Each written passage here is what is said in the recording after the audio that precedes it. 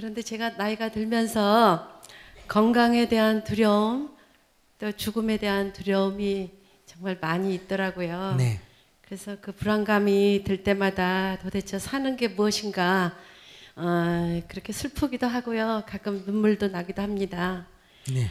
아, 그래서 이 불안감을 지우려면 정말 어떠한 정진으로 제가 깨달음에 도달할 수 있을지 항상 의문을 가지고 살고 있습니다. 그런 생각 안 하면 돼요.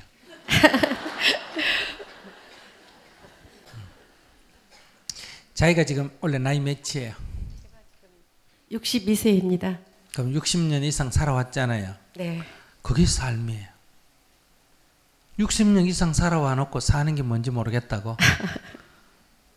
그 젊었을 때는 정말 정, 정말 기고만장하게 자신만만하게 살았었는데 네. 나이가 들면서 이제 자꾸만 겸손해지고 낮아지고 이렇게 죽음에 대한 그런 두려움 이제 또 그런 게 많이 오더라고요 가끔씩. 음, 젊을 때 기고만장했으니까 네. 어, 과부지 뭐. 자기 모잘랐다고 기고만장해요. 음, 산에 사는 다람쥐 기고만장한 거 봤어요? 산은 사는 토끼 기고만장한 거 봤어요? 네. 그렇지 않기 때문에 그 토끼는 죽음에 대한 두려움도 없고 다람쥐도 별 두려움이 없어요. 네. 물론 죽인다 하면 살라고 도망가지만은 그렇게 가만히 앉아가 앉아가 아이고 죽으면 어떡하지 이런 생각 안 해요. 어, 누가 공격을 하면 도망을 가지만 네. 자기는 지금 뭐 아무도 자기를 뭐 죽이려고 안 하는데 괜히 혼자 앉아가 죽으면 어떡하지 이런 고민하잖아요. 근데 언뜻 언뜻 그렇게 들여, 이렇게 다가오는 그런 두렵고 불안한 마음이 항상 가끔씩 있더라고요. 그래서 음, 오래 살고 싶다 이거지. 기고만장하게 오래 살고 싶다. 아니요. 그럼 뭐가 두려워요? 자기 모르겠어요. 60돌이면 옛날로 치면 한갑 지났어요? 안 지났어요? 살 만큼 살았죠? 네. 죽으면 되지 뭘. 살 만큼 살았는데.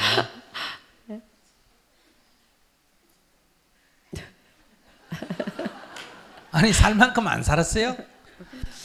그래도 좀더 음, 마무리를 해야 될 것 같아요. 어떤 마무리? 어, 애들 예. 애들 예, 스무- 자식들에 애들 대한 마무리. 넘었어요? 예, 이제 아, 스무 살안 됐어요? 아니요, 다 넘었어요. 스무 살 넘었으면 자기 할 일 다 했어요. 네. 또그 죽을 때뭐 어떻게 잘 죽을 수 있을까? 죽을 때 어떻게 잘 죽기는 그냥 죽지. 죽는데 어떻게 잘 죽는 거 못 죽는 게 있어요?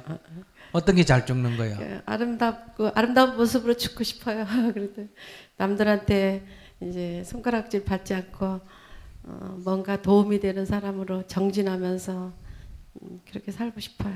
그럼 살고 싶으면 딴 사람들이 자기 손가락질 안 받으려면 나쁜 짓 안 하면 되고 남이 좋아하는 사람 되려면 자기 가진 거 베풀어 주면 되지 뭐. 네. 근데 자기 지금 베풀지도 않고 칭찬받고 싶고 못된 짓 하고 손가락은 안 받고 싶고 심보가 더럽구만은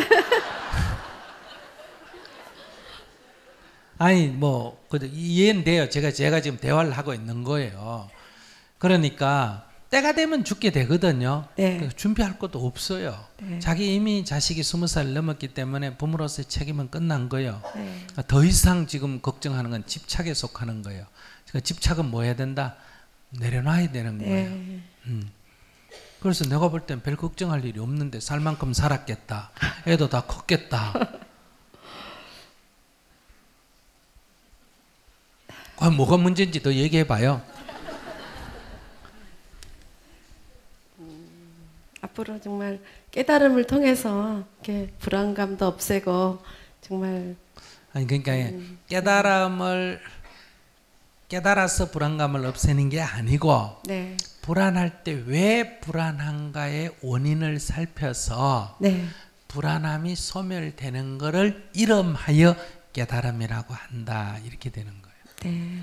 그러니까 깨달음이란 것도 따로 있는 게 아니고 불안할 때 왜 불안하지를 살피는 거예요. 네. 괴로울 때 왜 괴로운데 두려울 때 왜 두려운데 누가 너 쫓아오니 너 누가 죽이려고 하니 아니야 근데 왜 두려운데 어, 글쎄요 나도 모르겠어요 그래 네가 멍청하니 그, 그런 생각하지 이렇게 살펴서 두려움이 없어지는 것을 뭐라고 한다? 깨달음이라고 깨달음. 하는 거예요. 네. 깨달아서 두려움을 없애는 게 아니고 그럼 그 깨달음이라는 것은 추상적인 거예요. 네. 그 지금 뭐가 문제예요? 알지 못한 게 뭘 모르는데. 왜 불안한지 뭐가 문제인지 자기 불안해요. 모르는 게 가끔요. 그때 뭐가 불안한지를 한번 살펴보세요. 네. 두렵다면 왜 두려운지 이, 스- 이, 이 부처님의 가르침이나 스승의 가르침에 대해서 전혀 모르기 때문에 옛날에 어떤 젊은 스님이 스승을 찾아가서 이래 말했어요. 스님! 이러니까 왜 저를 해탈케 해주세요. 이랬어요. 저를 자유롭게 해주세요. 그랬어요. 그러니까 스승이 가만히 보더니 누가 너 잡고 있니? 이랬어요. 아니요. 그러니까 내 이미 너를 해탈케 했노라 이랬어요. 어떤 사람이 찾아가서 스승한테 스님 왜 저 죄를 좀 사해 주세요. 그랬어요. 음. 그래서 너 죄 지었니? 그러니까 네. 그래. 그 죄를 이리 내놔라. 내 사해 줄게. 그러니까 내놓을 게 없습니다. 그러니까 내 이미 너 죄를 다 사했노라 이랬어. 아, 물론 이해는 이해는 합니다. 아시겠어요? 나이가 저때쯤 되면 괜히 죽음이 들었고 심란하고 뭐 내가 살았다 싶고 눈물도 나고 그럴 때야 안 그럴 때요? 그럴 때요. 그런 거를 갱년기 장애다 이렇게 말해요. 음, 음. 그런데 이제 그런 걸 원인일 때 많지만은 제가 이런 얘기 하는 거는 그런 걸 딱 한마디로 쓸데없는 걱정한다 이래요. 왜? 별 할 일이 없으니까.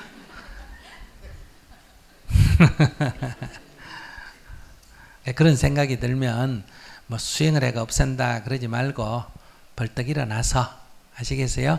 연보를 하든지 밖에 가서 조깅을 하든지 절을 하든지 그건 한 생각 망념이 떠올라서 그래요.